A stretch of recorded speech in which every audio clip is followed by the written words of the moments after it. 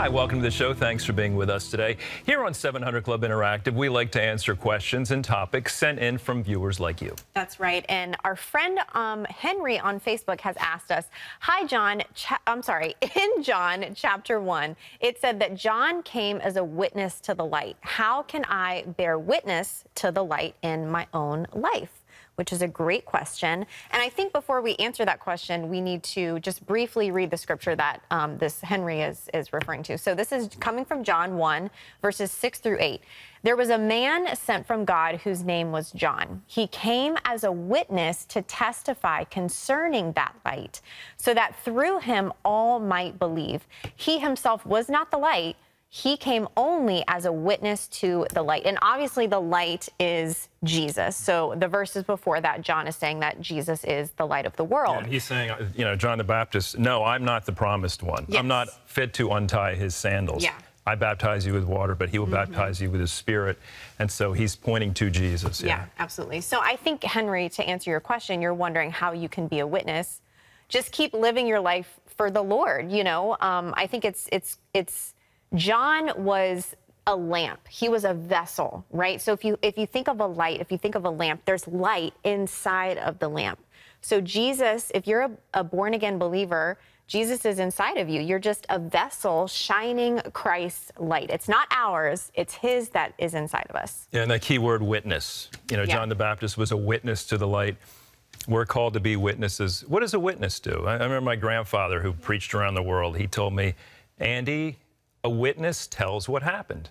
That's good, yeah. A witness tells what happened. Mm -hmm. So mm-hmm. if our life has been transformed by Christ, that's yeah. a great place to start. Tell people what has happened in our life. Mm -hmm. Some other things, you know, in Acts 4, um, Peter and John were uh, speaking about Christ and doing amazing miracles, and people said, These men have been with Jesus. So mm this is a tough call. This is a lot to live up to. But when, when people see us, hear us, or interact with us, do they say, this person's been with Christ? They've spent yeah. time at his feet. You know, what's our demeanor like to other people? Yeah, and I think sometimes as Christians, we can get caught up on, okay, how do I witness to this person? How do I witness to this person? And it's, you know, I think take the pressure off, right?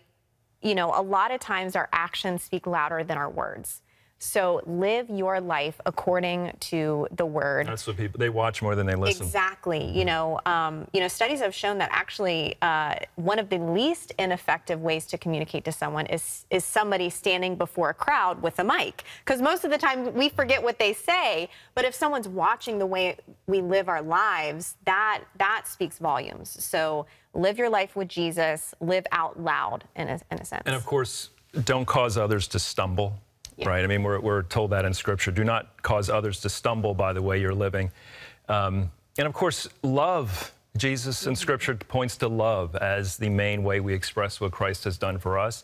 And of course, Jesus, you know, tells parables like about the Good Samaritan and in the example set. And Scripture tells us to be strong and stand, stand, stand. And when we're standing, we can help others. Yeah. That's maybe the toughest, one of the toughest calls about living a, a Christ-filled life is helping others, showing them love, going out of our way. You know, the four men carried the paralytic to Jesus. Yeah. It doesn't say how far they carried him, how long it took them, but but it's that going out of our way to show love to others that is a yeah. great way to be a witness. Absolutely. And, you know, we can't do this without help from the Holy Spirit. You know, we can't do it For in sure. our own flesh. We can't do it in our own might, but by your power, says the Lord. Like only through the Holy Spirit are we able to do it. And this that. question itself has made me consider, you know, am I being a light? How, how am I witnessing for Christ? In my home, in my workplace, in my friend relationships here in this program. I mean, we're supposed to meditate on our walk and how we're doing, yeah. and this is a good question for yeah, that. Absolutely. All right, guys, well, if you would like to ask us a question or give us a topic to talk about on the show, like we just did, make sure you visit our social media pages. Look for our different posts on the different platforms, such as Facebook and Instagram at 700 Club Interactive. And make sure to visit our YouTube page for extended interviews and stories. Andrew? Super Bowl quarterback, ESPN analyst. Trent Dilfer reached the upper echelon in the world of professional sports. So what's Trent doing now? And why does he say football is just a subplot to the bigger thing going on in his life? Tom Buring brings us the answers. God takes what we view as tragedy and turns it into triumph. And I'm now wise enough to see that happen. Trent Dilfer is still the impassioned quarterback first fueled by a 14 year NFL career, then as a primetime football analyst. Now he roams sidelines and weight rooms as Lipscomb Academy's head coach, shaping young sons from the crucible of his own journey. And the football's cool, and we don't sacrifice it ever, but it is a subplot to the bigger thing that's going on. And guess what that's going to be? Great husbands, compassionate people, and empathetic people, and people that handle social justice issues the right way. We want to fill that gap out of a small Christian school in Nashville. Is there a quarterback in all of us? A lot of people like the flash and sizzle of the quarterback. Very few want the burden that comes with it. Your job's to make everybody around you better. And you can't make them better unless you're bringing them together. And you can't bring them together if it's about you. Halfway into your 14 NFL seasons, Yeah. you win the Super Bowl with the Ravens. Ultimately, was that enough to satisfy your NFL ambition? No, I, I'm very honest that I'm very, very disappointed in my career. I underachieved. Was a terrible teammate early. Didn't attack the development part like I should have. Our defense obviously is arguably the greatest of all time. We played with great togetherness. It makes the disappointment of my personal performance worthwhile because I was part of something truly great. 2003, you're approaching your 10th season. Your five year old son, Trevin, surprisingly grows sick. It changed your life. He gets a virus that attacks his heart, one in a million. Uh, it kills his heart in a matter of days. He gets resuscitated four times, miraculously gets put on life support when they said it can never happen. He stays on that life support system for 40 days. He gets a systemic infection. We understand that this is out of our control. To have to turn off life support and to watch end of life of your son that's the hard part is thinking putting myself in his shoes as he went through this. Rock bottom. rock bottom is probably the best way to explain it. Anger is my default for pain. The scar tissue that builds up gets thicker. Self-awareness of what the pain's done to you. Fear sets in at that point because now you're afraid what it's going to do to your kids your spouse your loved ones. Numbing sorrow of life not being the same this is the beauty of this story. We took our kids to a breakfast place on Monday nights. We called it Crazy Dinner. And as we're walking out that night, my five year old son pulls on my jeans and says, Dad, I want to know Jesus. I said, That's awesome. He goes, no, I'm I want to know Jesus right now. This is the Holy Spirit working through a five year old saying, I'm calling you to me this moment. And we kneeled at a pancake house while people are walking in as the girls walk behind us, and Trevin, at five years old, authentically prayed to receive Jesus. So let's fast forward six months later when we're turning off life support, we know where he's going. Now we can thank God that he's with him instead of with us. You played five more seasons, you jump in with ESPN for a decade, then coaching up prospects. The end of my career in ESPN hardened me. Definitely some good things that came out of that, but it hardened me as a man. My kids started seeing it. I lost some gentleness. I lost some compassion. I had gotten complacent. I was chasing the world.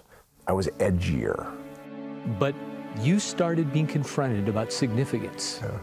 What challenged you? I did not feel like I was having impact. Okay, Lord, I'm listening. Obviously, you're doing something.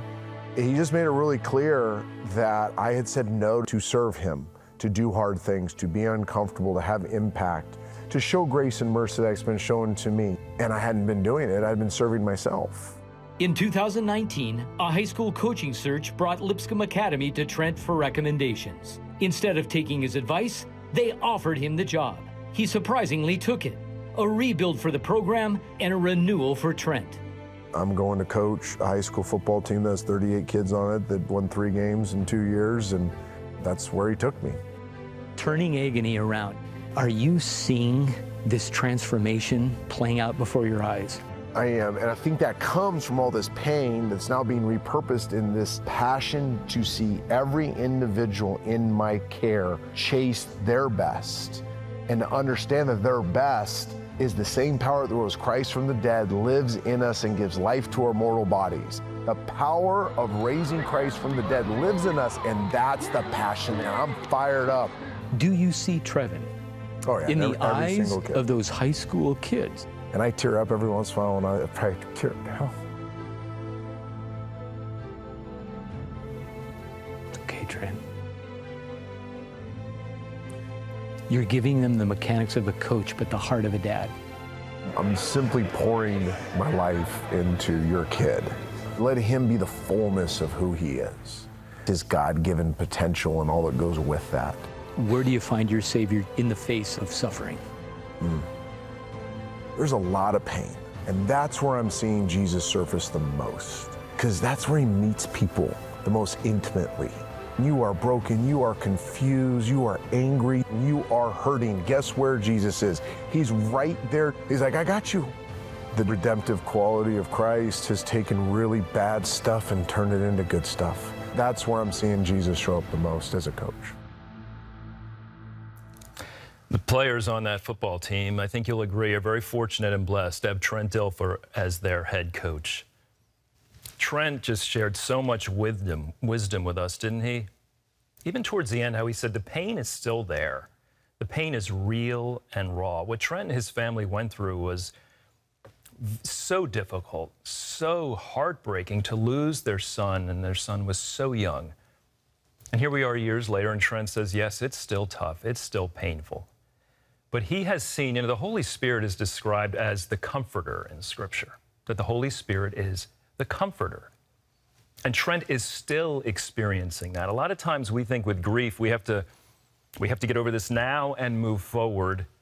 And yes, we don't want to stay in a season of misery and sadness and heartbreak too long. We need to let the Holy Spirit work on us and bring us out of that season, but it doesn't mean the pain will go away. So if you're a Christian, if you live for Christ and you still have heartache and pain and sorrow over something tragic and traumatic like the death of a child, I think that's a normal thing to experience and, and still go through. But can we bring it to the cross? Here's Trent, who has picked up the pieces in many ways, and he says, okay, now I'm going to invest in another generation. I'm going to invest in other people who need hope and inspiration and encouragement. And even in his grief, and even after this traumatic event, the Holy Spirit, the Lord God, is not done with Trent. He's still showing him areas that Trent needs to spiritually grow, according to what he told us. He said he became hardened, and that's natural, isn't it? That after the death of a child, your spirit may grow hardened and tough. And the Holy Spirit is never done trying to make us more like Christ. So this has been a journey for Trent. I so appreciate his honesty and walking us through that experience his family had. I remember Trent Dilfer as a quarterback, a Super Bowl quarterback, and he had the media all around him. And with that Ravens team, he was not ashamed to speak on behalf of his faith in Christ. And that was during the highlight of his career. And here he is now, a couple decades later, and he's sharing in a different way about what Christ has done for him, how Jesus has healed his heart and continues to do so. If you would like prayer for anything you've been experiencing, we would love to pray for you here at CBN. You can call 800 700 7000. Share your prayer need. Maybe some of you are going through grief yourself. You've had a traumatic thing happen in your family, and you just need someone to go to the throne on behalf of you. You may not even have the words to articulate to the Lord. We're happy to pray for you. Give us a call 800 700 7000. Ashley? Her life flashing before her eyes and getting a glimpse of her own funeral. Terminal cancer stalked Abigail every waking moment. You will die from this. That's what her doctor said. So, why is Abigail still alive to tell her story and completely cancer free? Take a look. I had those moments waking up just in a cold sweat, knowing that the Grim Reaper was standing at the foot of my bed. Like, I have a right to be here. I took your dad out, took a grandparent. I never even knew my grandparents. I have a right. I'm here to get you too. All her life, Abigail Holt Jennings had braced herself for this moment a battle with cancer. She'd watched her dad fight it for 10 years until he passed away when she was 16. Now 42 years old, she'd been diagnosed with an aggressive form of metastatic cancer. I think the Lord was preparing me like, you're about to enter a battle, but I am with you. Less than a year earlier, she'd undergone a double mastectomy after learning she had stage 3 breast cancer. She thought she was in the clear, but six months later, at a follow up PET scan with her oncologist, he said, This is what I feared. It's moving to your lungs, and you see these places. He's like, These are places I cannot get to. This is this is terminal, and you will die from this. The treatments he did offer were extreme, and would only put off the inevitable. That is when that grim reaper, I could feel I could feel that thing, that spirit of death and that spirit of fear walk in the room. And then I felt wonderful Jesus walk in the room as well. and he said, But who do you say that I am? And it was in that moment that something rose up inside of me. And I remember answering him in my mind this is going to be a great line in my book one day. In other words, I know you're going to heal me, and I'm going to write about this one day. Abigail declined the treatments and decided she would fight cancer taking a natural and dietary approach, and above all, praying and believing God for healing. As believers, there is a, a hope inside of us.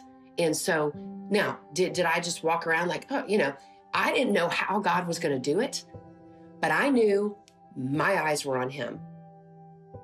Enlisting the prayers of her family and friends, Abigail, a single mom of two, talked openly with her children about her health. And I remember my little girl, Lily, came up to me with a magazine and she opened the magazine and she loved American Girl dolls. They now have a an American Girl doll with no hair. And she said, Mom, maybe I need to get this one this year in case you lose your hair. And I said, Honey, you will not have to order that doll because mommy is not losing her hair. Three months later, another PET scan showed that cancer was spreading aggressively in her lymph nodes. Holding on to hope was becoming harder. I simply had no options. I was just getting more scared and more frustrated and would wake up with dreams, seeing like a movie screen my funeral. Then, a couple months after getting that news, Abigail went to the Dominican Republic to visit a friend, a doctor, and take time to rest and seek God. Abigail remembers showing her friend the PET scan results. The look on her face when she read that last one, and I had never seen her look like that. That did rattle me. All I know to do is seek God with all my heart. That's all I know to do. She would spend many hours that week in prayer, seeking God's will. Late one night, near the end of her visit, I got out there and I said, God, I need to know am I going to die? What do you have to say about this? It was just me and God.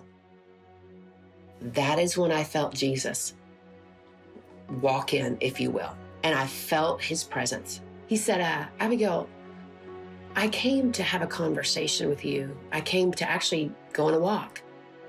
Abigail says she then saw a vision of herself with Jesus in Jerusalem. He walked her past the cross and into the tomb where he lay down. And he said, Watch this. And he sat up. And he said, Abigail, when I sat up, you sat up. And then he walked to the entrance of the tomb, and I will never forget this as long as I live. He said, When I walked out of the tomb, did I have cancer in my lungs? I said, No, Jesus, you didn't. He said, So do you have to have cancer in your lungs? I said, No, Jesus, I don't. And in that moment, I knew I am cancer free. A few weeks after she came home, Abigail faced yet another PET scan. She says that morning, Jesus spoke to her again. Good morning. This is the glory scan.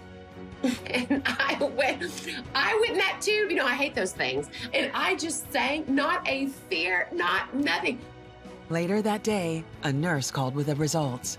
And she goes, Abigail, I, I don't really know what to say, but uh, there's nothing here. Like, there's there's nothing here. And I was like, I know, I know. At the follow up appointment, her oncologist confirmed that Abigail was cancer free. He goes, I don't need my degree on my wall to see that this is a miracle. That was 2017, and Abigail has been cancer free ever since. To anyone who's fighting a battle, her message is clear keep your eyes on Jesus. He was trying to tell me this doesn't have to do with you. I took care of sin at the cross. I took care of every disease. I took care of every sickness. He is entirely the healer, entirely. Yeah, hear that truth today. Jesus is the healer. He is your healer. And you may be watching Abigail's story and just wishing, hoping, I want that to be me. You see Abigail completely healed. She goes back to the doctor. The cancer that was terminal and aggressive is completely gone, and you want the same in your life. And I'm here to tell you that the same thing can happen to you. We just have to position our hearts to overcome the fear and the mountain of doubt that is in your heart, friend. I believe God wants us to move that mountain of fear and doubt. I believe He's going to cast it into the sea right now. And I just pray in the name of Jesus that faith rises right now within you. Jesus is always the answer. He will forever be the only option and answer that we have. Sometimes when we get a diagnosis, you know, there's different options for treatment, and there's nothing wrong with medicine and going that route. But we, in our faith, we have to come to a point where we say, Jesus, it's you and only you that I put my hope and my faith in. It is that heart posture, that mustard seed of faith that will move mountains on your behalf. It's nothing we do, it's only in the name of Jesus. So, Andrew and I are going to pray for you today. Whatever your needs are, bring that to the forefront of your mind as we enter the throne room of heaven. But before we do, we have some more amazing miracle testimonies of God doing miraculous things in the lives of those who love him. So this is from Judy on Facebook, and she said, I was told by multiple doctors to abort my baby. They said that she wouldn't make it due to medication I was taking when I didn't know I was pregnant. I had strong faith in Jesus Christ and knew the decision was not our own. Our church continued to pray for health over our baby for those eight and a half months. Our daughter was born completely healthy and is now pregnant with her own baby. Thank you, Lord. Amen. Here's one from Mary on Facebook. My right shoulder was healed. I went to a church service and a visiting minister held a prayer service. Next morning, the pain was gone. I got up and I vacuumed my bedroom with no hmm. problem. That's Amen. great news. Amen. Hey, let's pray for you. We just have a couple of minutes left, so let's bring our concerns to the Lord. Father God, you know the heart cries of people, and we celebrate in these miracles we have seen. Lord God, however, there are still those in great need, and we bring their needs before you now. I just pray your Holy Spirit ministers through Ashley and I. Thank you, Jesus. Uh, somebody who has been uh, involved in the occult, witchcraft of some kind, some sort of darkness over you and your life and your household. And the Lord wants to invite you into relationship with His Son Jesus. And God wants to break the bondage to the occult. And that is good news. In Jesus' name, just say, Lord Jesus, I surrender to you. And He just wants to break those chains in Jesus' name. Yeah, I believe someone's watching. I don't know what kind of condition this is, but you're cold all the time. Uh, whether it's from uh, certain medications that you're taking, or it's a it's a autoimmune dis- disease or something. I don't. Whatever it is, it has no power over you any longer. Just say out loud, I am covered by the blood of Jesus. I am healed by the blood of Christ. Just receive your healing right now from whatever is causing that in Jesus' name. Thank you, Lord. Somebody has a hand that's been trembling for days, and the Lord is healing you of that tremble. And someone else um, recently involved in some sort of spiritual failing, and they feel they've disappointed the Lord because there's a love relationship there. This person knows Jesus, and there's been a failing of some kind, and the Holy Spirit just desires you to bring it to the cross, bring that failing, that disappointment to the cross where love is found.